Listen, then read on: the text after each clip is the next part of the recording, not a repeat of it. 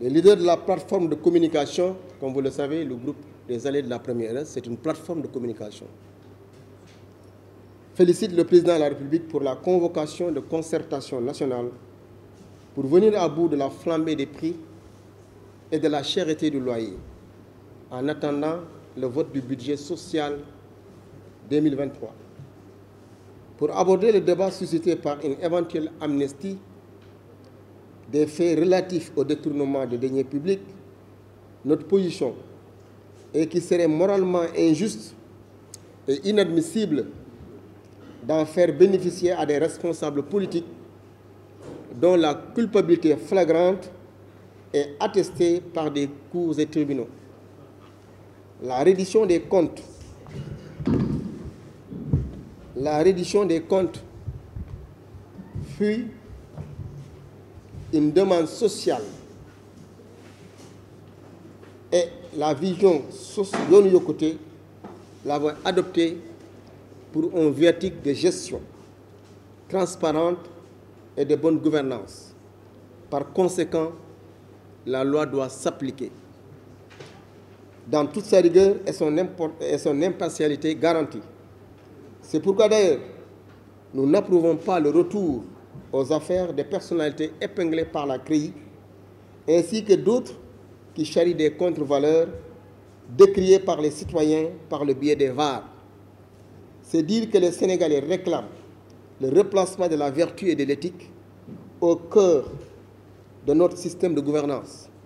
C'est pourquoi il nous faut travailler à faire en sorte que les délits de détournement de, de deniers publics, de meurtre prédité et de viol ne puissent, plus être graciés ni amnistiés.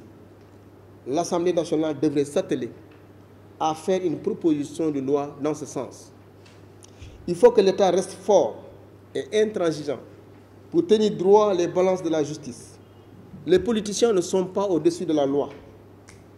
Un délinquant, de quelque bord qu'il soit, doit être traqué et mis définitivement hors d'état de nuit.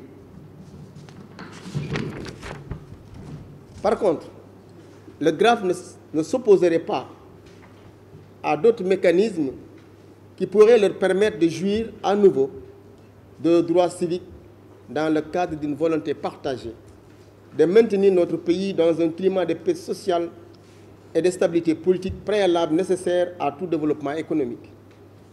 En définitive, il appartient au peuple sénégalais de choisir les dirigeants, quelle que soit leur moralité.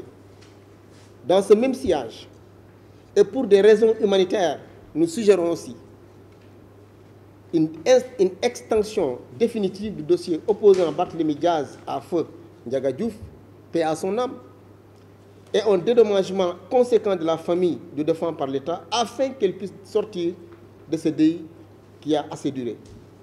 En ce qui concerne le remaniement, nous souhaitons plein succès au nouveau gouvernement, mais déplorons l'absence de Maki 2012, ses alliés de la première heure qui étaient là quand rien ne semblait possible. Le dire est devenu un péché, car Sénégal, mom lu sorti rek borom. Dire maintenant qu'on est un allié de la première heure est devenu un péché. ñun ñoo fi nekkoon bu yàgg waaye léegi boo ko waxee ñu lay tàmb dem parce que Sénégalais moom lu sotti rek borom voilà donc nous n'avons jamais revendiqué de position mais lorsqu'on partit en perte de vitesse ça permet à travers un communiqué de minimiser les postes de responsabilité qui lui ont été alliés quitte de Macky 2012 qui depuis 2010 depuis 30 octobre 2012 n'a plus siégé au Conseil des ministres même les directions tenues par les membres des membres de cette coalition ont été retirées et affectées et confiées à des responsables de l'APR.